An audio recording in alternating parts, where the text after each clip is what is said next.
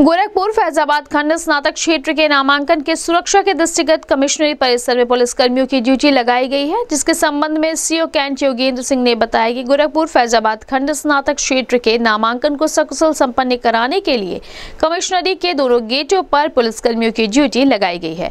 इसके अलावा एक कंपनी पीएससी की लगाई गई है। गेट से लेकर कमिश्नर न्यायालय तक बैरिकेटिंग किया गया है और गेट से लेकर न्यायालय तक पुलिस की ड्यूटी लगाई गई है।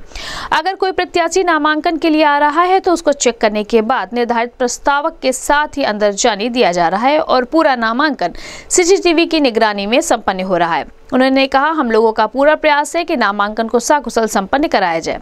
इस अवसर पर एडीएम फाइनेंस राजेश कुमार सिंह, रामगढ़ताल थाना प्रभारी सुधीर सिंह, राजघाट थाना प्रभारी राजेंद्र सिंह पिपराइस थाने के उप निरीक्षक दिनेश कुमार साहनी सहित अन्य पुलिसकर्मी मौजूद रहे।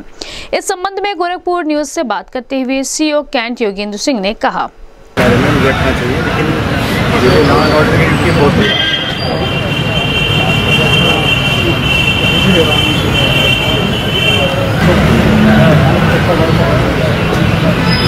हेलो आनंद बोल रहे कब तक वहाँ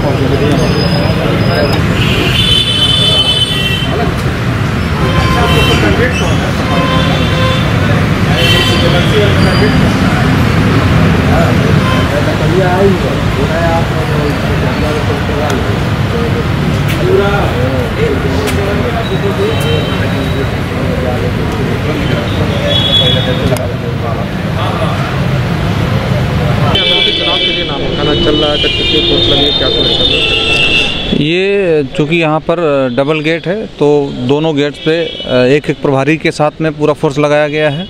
एक कंपनी पीएससी की लगाई गई है। बैरिकेटिंग आप देख रहे हैं। बैरिकेटिंग के दोनों तरफ़ पूरा फोर्स लेडी कांस्टेबल्स सभी लगाए गए हैं। जो न्यायालय कक्ष है उसके बाहर और उसके अंदर एक्स्ट्रा फोर्स लगाया गया है जिससे किसी तरीके का कोई भी व्यवधान उत्पन्न ना हो। जो भी लोग यहाँ पे आएँगे वो बैरिकेटिंग के अंदर अनुमान्य लोग ही अंदर एंट्री करने दिए जाएँगे। कितने लोग अंदर आने पाँच लोगों की परमिशन है तो पाँच लोग ही अंदर जाएँगे। Thank you